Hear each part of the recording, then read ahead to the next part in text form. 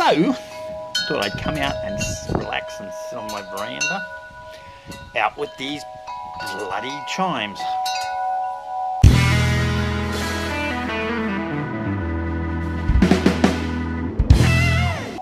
Trees does love her chimes. Um, she's got them here. You can hear them from pretty much all up the street.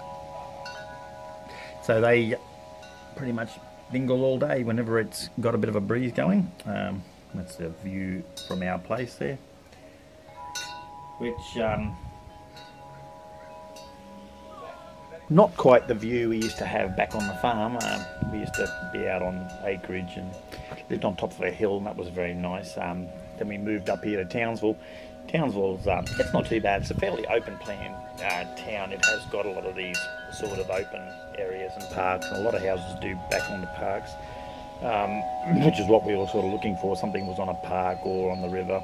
This is the Ross River here. Um, we're looking across to um, to uh, Annandale over there from Aitkenvale, and uh, that's that's also where George Christensen's electorate across the river. So we got out of that. That was good.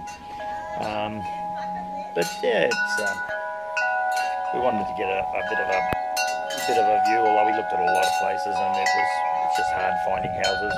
And there those bloody chimes go again. And that's just one of the big ones. There are more. Anyway, nice place. They should do a, more vlogging of like um, uh, Australia, Townsville. There is a guy that does a bit of vlogging around Townsville, which is quite good. And um, if you can even hear this, so um, but no, I don't think I need to do that, and I don't get out enough. Maybe we'll go out and do a bit of um, Pokemon sometime. But otherwise, we'll just sit here and listen to the chimes.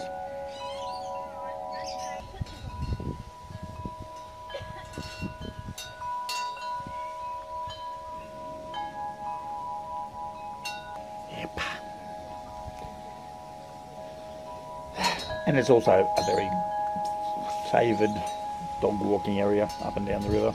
There's some dogs walk past. You see a lot of doggies come past.